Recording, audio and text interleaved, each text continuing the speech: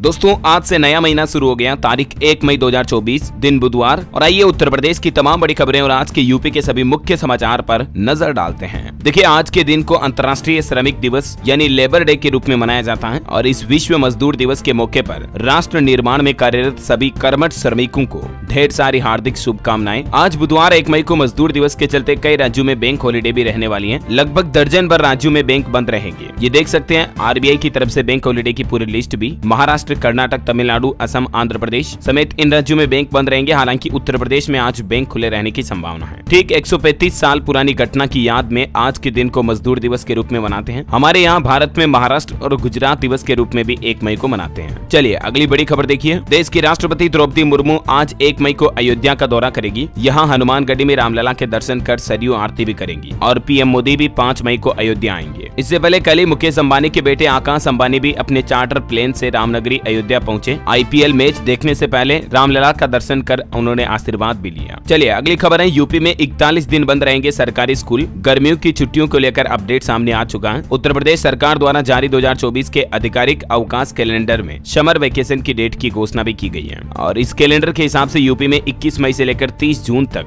गर्मी की छुट्टियाँ, यानी कि समर हॉलीडे रहेगा। चलिए, खबर है, पीएम मोदी तेरह मई को नामांकन करेंगे। बाबा विश्वनाथ और काल भैरव का दर्शन करके शुभ मुहूर्त में नामांकन करेंगे। काशी में भी भव्य रोड शो की तैयारी हो रही है। और वही देखिए, कुछ और बड़ी चुनावी खबरें। वोट जिहाद पर सलमान खुर्शीद और उनकी भतीजी पर एफआईआर दर्ज हुई। फर्रुखाबाद में उन्होंने कहा था कि वोट जिहाद ज़रूरी है। मुसलमान एक नहीं हुए तो नामो निशान मिट जाएगा। और बड़ी खबर देखिए, पूरी नहीं होने देंगे ओबीसी एस सी रिजर्वेशन में धर्म और आरक्षण के मुद्दे पर सीएम योगी ने कांग्रेस सपा को घेरा। पीएम मोदी भी बोले कि कांग्रेस वाले मुसलमानों को रातों रात ओबीसी बनाते हैं। जब तक मैं ज़िंदा हूँ, धर्म के आधार पर मुसलमानों को आरक्षण नहीं दूँगा। सीएम योगी ने गोरखपुर में कहा कि संविधान का गला घोटने का इतिहास रहा है कांग्रेस का। सीएम बोले, जनता का शासन जनता के लिए है, ये कभी नहीं समझी कांग्रेस। अपने गोरखपुर दौरे के दौरान मुख्यमंत्री ने गो सेवा भी की, बच्चों पर भी दुलार प्यार लुटाया, चॉकलेट दी, बच्चों को देख सकते हैं आप। चुनावी व्यस्तता के बीच भी गोरखनाथ मंदिर में गोवंश के साथ वक्त गुजारा। और खबर है, सीएम योगी बंगाल के भी चुनावी रण में उतरे। यहाँ पश्चिम बंगाल में बोले की उत्साह के साथ करें मतदान, बंगाल को दंगा कर्फ्यू ऐसी मुक्त करने के लिए भाजपा को वोट दें। सीएम ने कहा की बंगाल को हिंदू विहीन करने की साजिश चल रही है। पश्चिम बंगाल के मुख्यमंत्री ममता बनर्जी पर आरोप लगाते हुए वो बोले कि जनता नहीं, बल्कि अपराधियों के साथ है दीदी की ममता।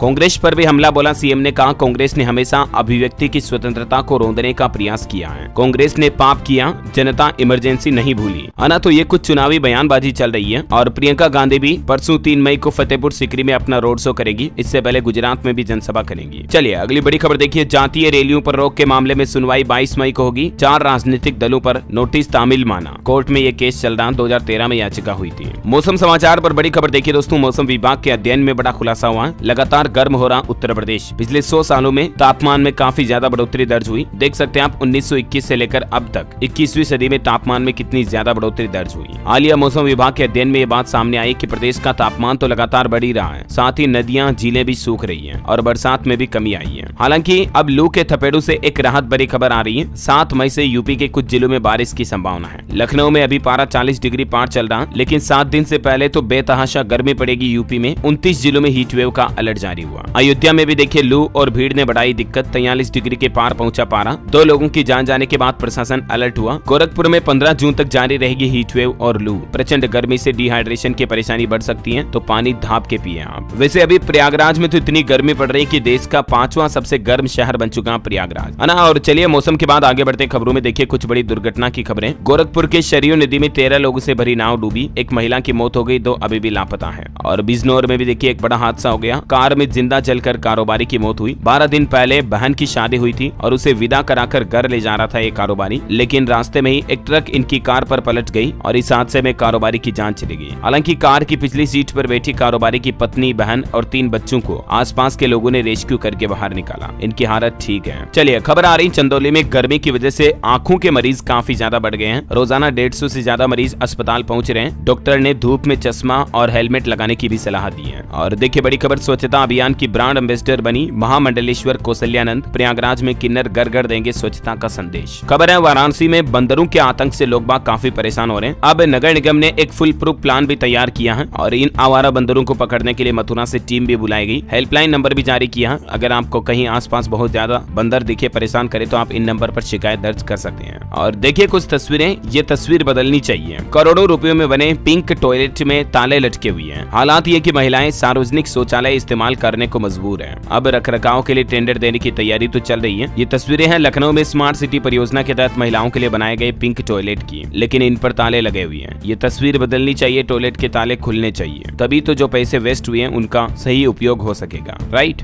और देखिए बड़ी खबर, धर्म परिवर्तन को लेकर बरेली में दो लड़कियों ने धर्म परिवर्तन किया। एक लड़की साइना से सोनी बनी, कहा कि बुरका पहनने में मुझे घुटन होती थी। और परिवार वाले हत्या भी कर सकते हैं इसके चलते महोबा में भी एक ऐसी घटना देखी गई। आरज़ू से आरती बन, दिनेश से शादी की। पाँच साल से दोनों रिलेशन में थे। दुल्हन बोली, जय श्री राम में हिंदू बनकर बहुत खुश हूँ। मोहबा में मुस्लिम युवती ने मोहब्बत के लिए मज़हब की दीवार तोड़ दी और खबर है, बांदा के एक मूर्ति कलाकार ने हूबहू बनाई रामलला की मूर्ति। पैतीस घंटों में तैयार की भगवान श्री राम की ये मूर्ति समाज सेवी राजेश गुप्ता ने मूर्ति स्थापित करने की तैयारी भी शुरू की। और ये मूर्ति की तस्वीर भी आप देख सकते हैं काफ़ी हद तक। बिल्कुल अयोध्या के राम मंदिर में स्थापित की गई मूर्ति की ही तरह दिख रही है। चलिए, अगली खबर है दोस्तों, एक मई से आपकी जेब से जुड़े दस ज़रूरी नियम बदलने जा रहे हैं। बैंकों में अगर आपका खाता है तो खर्चा बढ़ने वाला है। बैंक चार से लेकर एलपीजी गैस सिलेंडर तक। एक मई से हमारे देश में काफ़ी दस बड़े बदलाव लागू हो जाएँगे। तो इन बदलावों की लिस्ट का डिटेल वीडियो मैंने डीएलएस न्यूज़ मेन चैनल पर ऑलरेडी डाल दिया अगर आपने नहीं देखा है तो इस वीडियो का लिंक मैं नीचे डाल दूँगा। आप ये वीडियो ज़रूर देख लीजिएगा। एक मई से हमारे देश में क्या क्या नए नियम लागू होने जा रहे हैं। नीचे पिन कमेंट में आपको इसका लिंक मिल जाएगा। तो ये यूपी की खबरें देखने के बाद इस नए नियम को ज़रूर देख लीजिएगा। चलिए, आगे बढ़े खबरों में देखिए आप। देखिए, कोरोना वैक्सीन से हार्ट अटैक पर बड़ा खुलासा सामने आ रहा। एस्ट्राजेनिका की कोरोना वैक्सीन से हार्ट अटैक का खतरा है। ब्रिटिश कंपनी ने खुद कोर्ट में ये माना कबूल किया कि हाँ हमारी वैक्सीन से हार्ट अटैक होता है। भारत में भी इसी फॉर्मूले से बनी कोविशील्ड के एक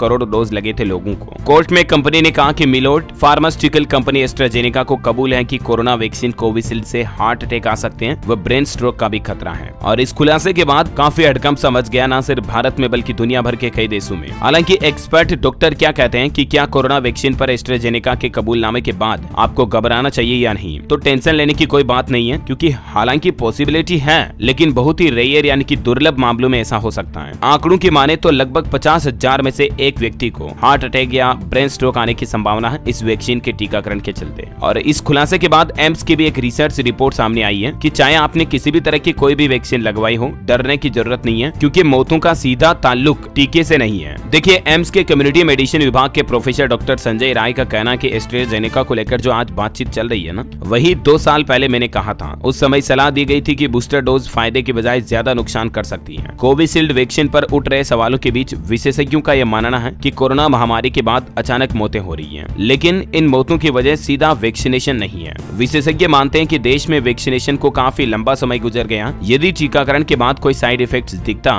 तो अभी तक देश में बड़े स्तर पर इसके केस सामने आ चुके होते। अना तो टेंशन लेने की कोई बात नहीं है, जो होगा जो देखा जाएगा। हालाँकि इस खुलासे के बाद उत्तर प्रदेश में भी कई जगहों पर इसका विरोध किया गया। ये देख सकते हैं वाराणसी की तस्वीरें। कांग्रेस प्रदेश अध्यक्ष अजय राय ने कहा कि पीएम मोदी करोड़ों देशवासियों की जान के सौदागार है। चलिए, खबर आ रही एलयू यानी लखनऊ यूनिवर्सिटी में लॉ और कॉमर्स फैकल्टी का एग्ज़ाम शेड्यूल जारी हुआ। 22 मई ऐसी शुरू होंगे एलएलबी के एग्ज़ाम। बीकॉम ऑनर्स का शेड्यूल भी जारी हुआ। और खबर है अकाशा एयर ने मुंबई और हैदराबाद के लिए स्लॉट मांगा। गोरखपुर ऐसी दिल्ली और बंगलुरु के लिए उनतीस मई को उड़ान भरेंगे विमान।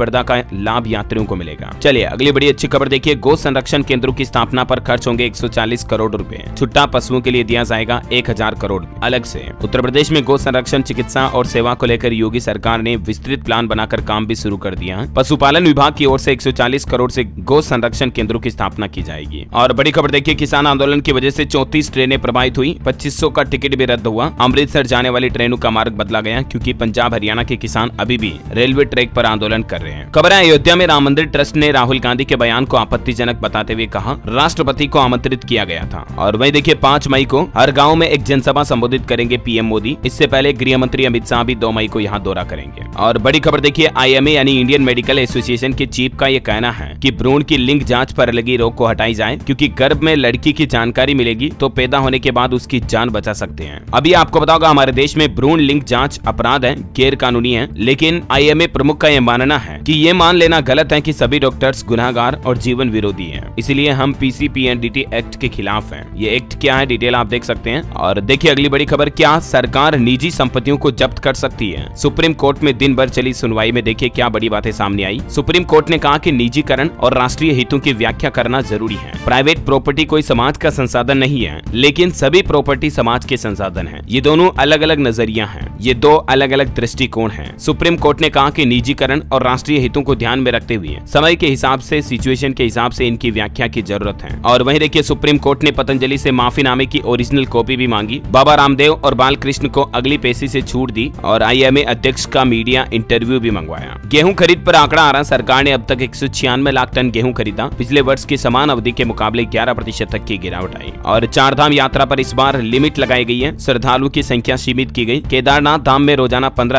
और बद्रीनाथ धाम में रोज़ाना सोलह हज़ार ही दर्शन कर पाएँगे। और एक नया नियम इस बार ये भी लागू हुआ, समय के हिसाब से यात्रा प्रतिबंधित रहेगी, जिसके मुताबिक पर्वतीय मार्गों पर रात दस बजे से सुबह चार बजे तक यात्रा पर प्रतिबंध रहेगा। और वैसे आपको बता दूँ चार धाम यात्रा की शुरुआत इसी महीने दस मई से शुरू होने जा रही है। कुछ और नियम कानून कायदे लागू होंगे, इनकी भी मनाई रहेगी, डिटेल आप देख सकते हैं। और चलिए, अगली खबर देखिए, हमारी भारतीय नौसेना के नए चीफ बने दिनेश त्रिपाठी। शपथ लेने से पहले इन्होंने अपनी माँ के पेड़ छुए और कहा कि आत्मनिर्भरता की दिशा में नौसेना को मज़बूत करेंगे। ये वाकई में इंडियन आर्मी के लिए बड़े गर्व की बात है और इसी बात पर दोस्तों भारतीय सेना के लिए एक लाइक तो बनता है। फटाफट से लाइक कर दीजिए इस वीडियो पर और मुझे कमेंट करके बताइए कि आप कौन से ज़िले में रहते हैं, उत्तर प्रदेश में कौन से ज़िले से इस वीडियो को देख रहे हैं। साथ ही डेली यूपी न्यूज़ चैनल को सब्सक्राइब करके बेल आइकन ज़रूर दबा देना ताकि आपको अपने राज्य, उत्तर प्रदेश की तमाम बड़ी खबरें और यूपी के सभी मुख्य समाचार डेली के डेली आपके मोबाइल पर मिलते रहेंगे। ओके मिलेंगे अगले नेक्स्ट अपडेट में, तब तक के लिए जय हिंद, जय भारत, वंदे मातरम।